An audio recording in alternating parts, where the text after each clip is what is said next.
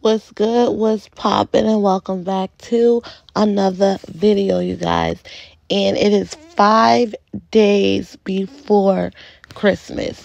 So I'm sharing with you guys this cool little app that I use every single year. It is called Elf Yourself.